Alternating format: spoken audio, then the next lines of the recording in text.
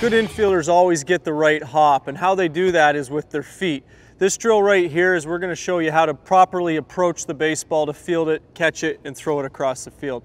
With this setup, we have uh, four cones that we can set up in, a, in the angle that we want the player to, to, to take towards the baseball. Again, they're gonna really try to work on the right-hand side. As you see, the, the cones are set up for them to work on the right-hand side of the ball. First thing they're gonna do is they're gonna get in the ready position. Their first step is gonna be with their right foot to get on the right side of the ball, and then they gradually get around the cones here and, and get into a right a position where their right foot, left foot field the ball to throw it across the field. We'll do a couple on the dry side here to see what it looks like.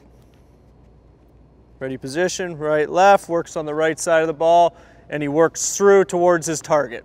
See it again. Right, left, perfect, very good.